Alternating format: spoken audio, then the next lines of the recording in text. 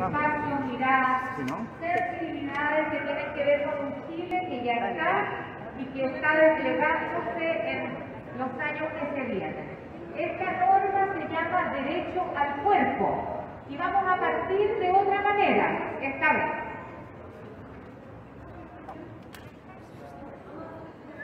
por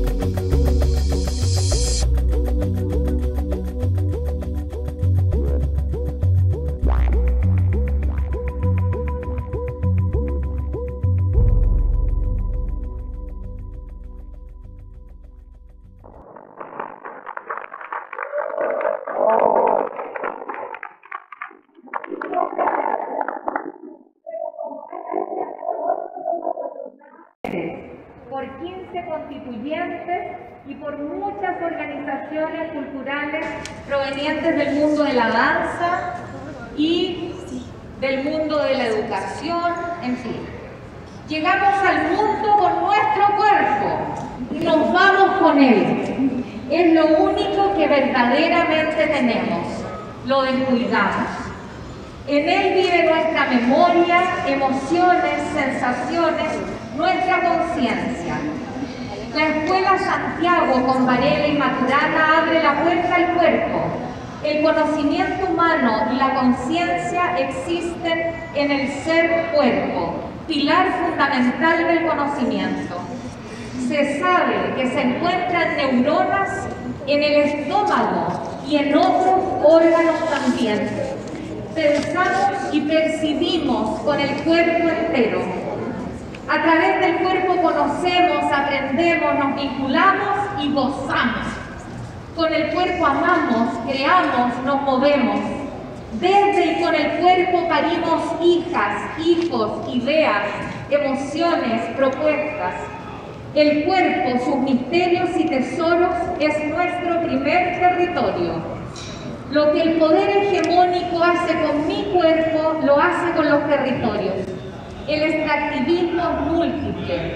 Extraigo todo lo que necesito de él, no dejo nada, no considero su entorno, arraso con su identidad completa, con su memoria, la que está ligada a la tierra, la que contempla un todo más amplio, complejo y profundo. Lo hago producir sin contemplar sus cuidados, su bienestar, su descanso, su regeneración, su condición vinculante, relacional para existir en plenitud. La corporeidad tiene una historia.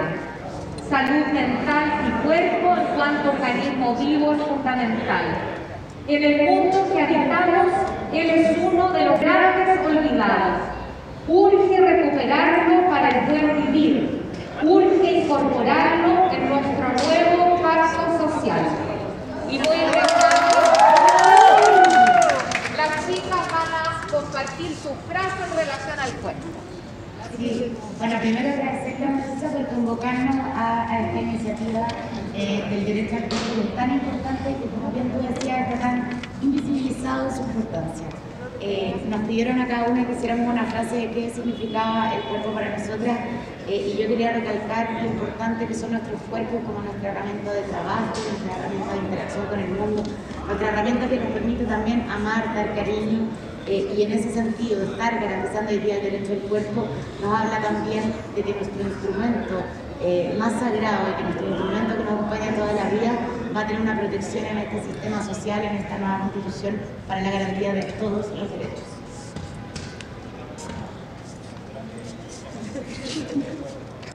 Hola, celebramos esta norma porque sabemos que la lucha por la tierra es inseparable de la lucha del cuerpo. Sabemos que la economía extractivista le hace cierto a nuestro cuerpo lo mismo que le hace a las comunidades y a los territorios, haciéndola inseparable realmente del cuerpo. Y es por eso que es nuestra primera lucha, es nuestra necesidad.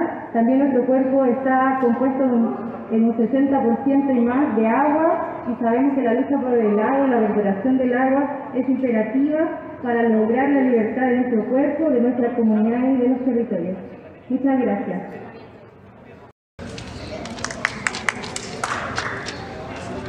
Agradecer por supuesto la presentación de la norma. Nuestro cuerpo es nuestro territorio de soberanía. Nuestro cuerpo es nuestra posibilidad de experimentar lo que realmente vino para nosotros en este mundo y lo que realmente nos permite ir más allá de los límites externos, hegemónicos, como decía la maestra, que se nos ha tratado de imponer. Nuestro cuerpo puede ser también nuestra principal herramienta de de goce y de sentido incluso en esta vida.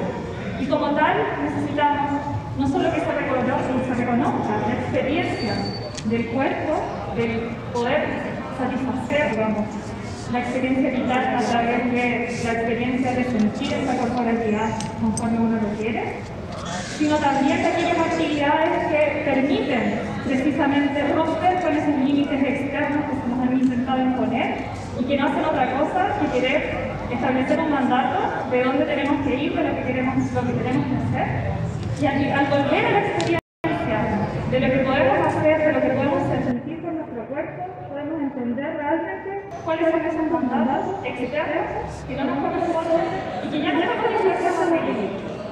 Así que muchas gracias.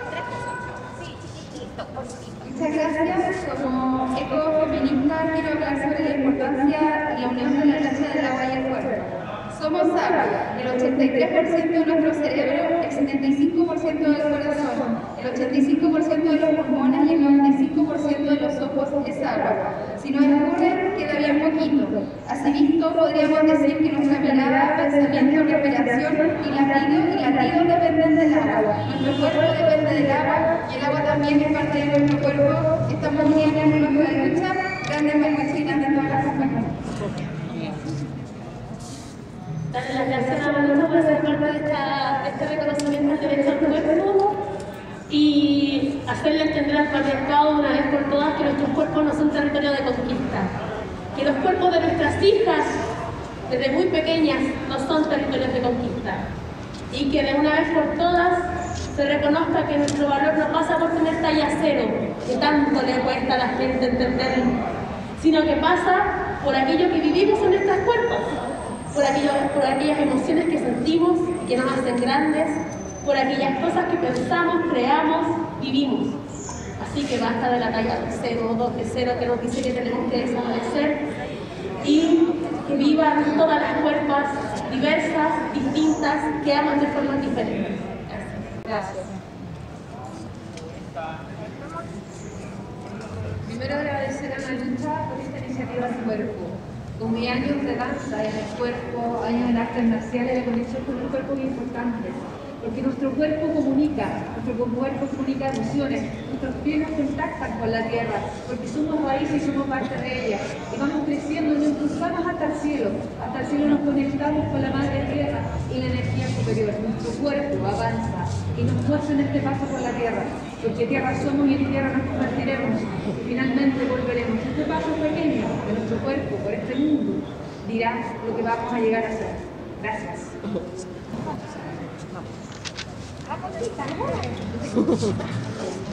Quiero agradecer este momento importante quiero también decirle a las mujeres bailarinas, danzarinas, a quienes están patrocinando esta norma en la región de los ríos que aquí estamos. Gracias a estos cuerpos de estas, estas cuerpos, de estas hermosas mujeres, estamos hoy día dando un paso importante de reconocer. Quiero agradecer a mi cuerpo, quiero agradecer que me permite ver, que me permite sentir, que me permitió transformarme en tierra fecunda y parir a mis tres hijos.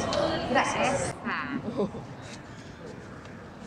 Derecho al cuerpo es conectarnos con la experiencia desde una perspectiva integral y comprender que todo lo que vivimos a través del cuerpo, que las experiencias de nuestra historia quedan plasmadas en nuestra corporalidad, que el desarrollo de una conciencia corporal tiene directa relación en cómo nos vinculamos con otras personas y la naturaleza, cómo entendemos el autocuidado y cómo queremos aprender para seguir avanzando en la construcción colectiva de nuestra sociedad a través de experiencias de vida significativas que aseguren la dignidad en el buen vivir.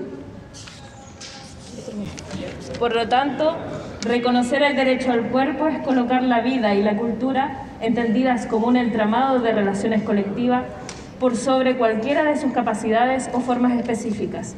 Es construir una constitución que garantice el reconocimiento y respeto de las diversidades, las instancias de creación y el desarrollo de cada una de las personas que habiten en nuestro país. Es por esto que el derecho al cuerpo es una solución cultural emancipatoria a las problemáticas actuales. Educación, salud, patrimonio, convivencia, traducidas todas ellas en la noción de un buen vivir.